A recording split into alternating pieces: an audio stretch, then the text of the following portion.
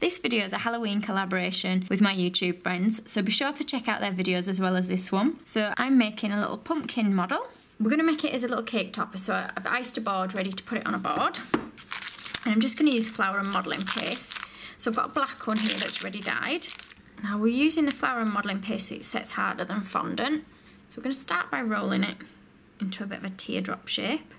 I've put a little bit of Trex in with mine, which is just shortening, just to soften it a little bit and make it easier to use. So we've got a little teardrop shape. We're going to put this on our board. I'm just going to put a little bit of water on the board where we want it to go. Don't put too much because the uh, black dye will seep out of the icing if you put too much water on. Okay, so thin end to the top, chunky end to the bottom. So taking two small pieces of the black, we're going to roll them into a ball. You see it goes all over your hands, the black. And we're going to roll them so that you end up with a chunky bit at one end and a thinner bit for the leg. Just do the same with the other one. So once you've got those the same, put a little bit of water underneath each one. And we're going to push these onto the side of our body like so. Next onto the arms. So again, taking two pieces of the same size. I'm going to start with a ball and we're going to roll it so that you end up with a long teardrop shape. I might have done this one a little bit long, so just check it against your body. So I'll take a little bit off the end of that one. And then just do another one to match. I'm just going to put a little bit of water on either side of the body where I want the arms to go.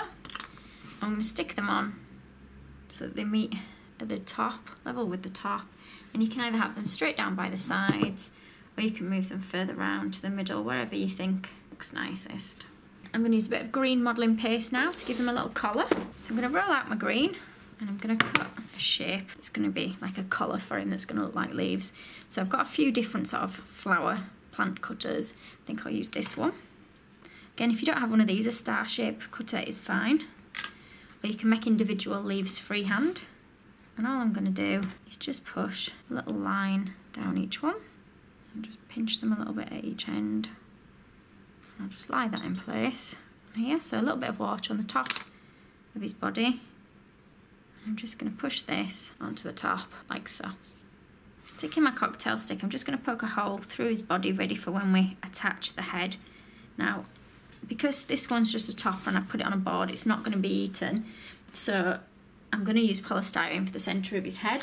So it's a 60ml polystyrene ball I've got. You can use Rice Krispie treats in the middle instead if you want to make them into a ball shape. I'm just going to poke my cocktail stick into my polystyrene ball. Just check what it looks like in my body. Ready for decorating.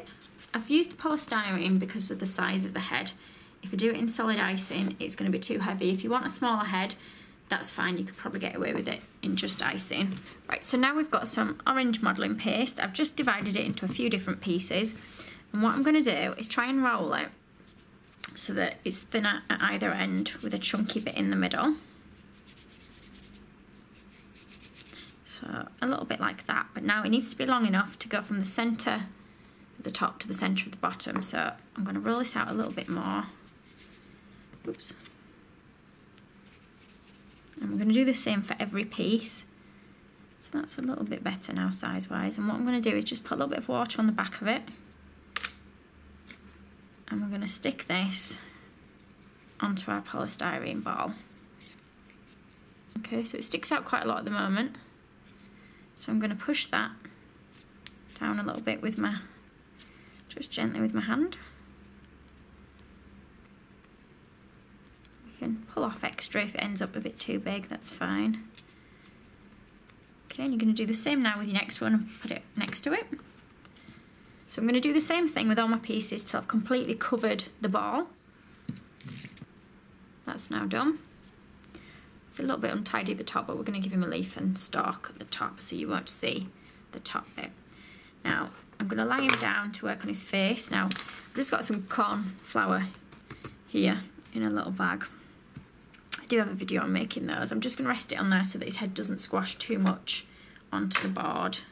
So I'm just going to put a little indentation on either side where I want his eyes to go. And I'm going to use my black modelling paste again for the eyes. So taking two rounds of your black modelling paste, just roll them slightly so they become a little bit oval in shape. And we're going to put a little bit of water on the face where you've put your indentations, your little marks for where you want your eyes to go.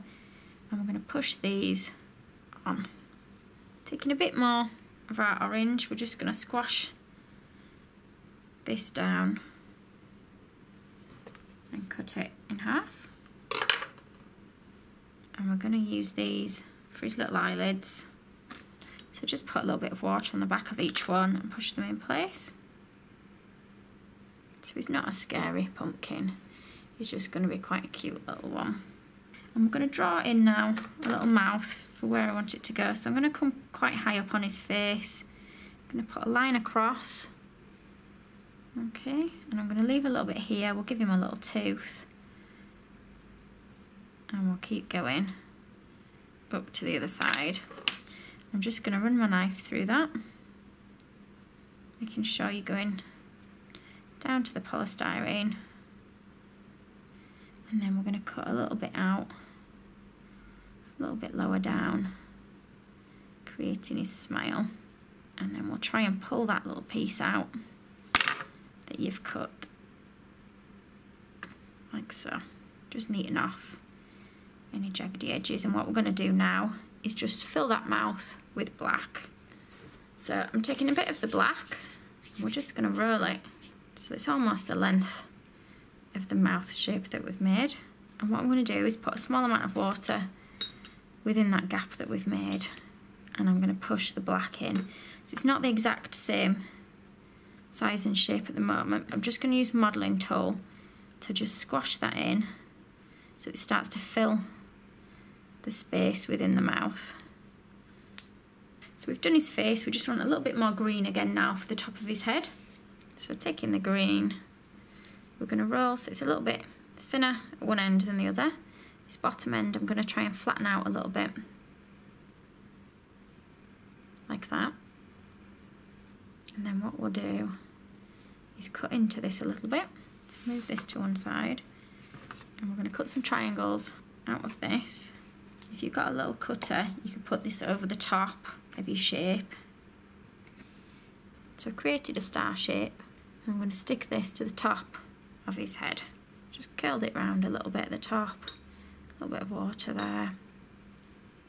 I'll just stick that in the centre at the top.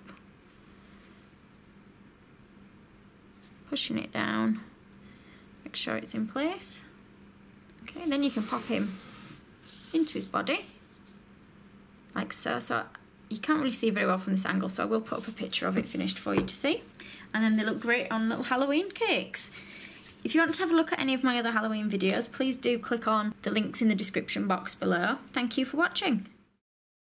Don't forget to check out the other videos in the collaboration. Check out the links on screen or in the description below. If you liked this video and would like to see more, please click on the images of the other videos suggested. Also, please do subscribe to my channel using the button at the bottom right hand corner of the screen you can also visit my cake website and my Facebook page to see more cakes and ideas.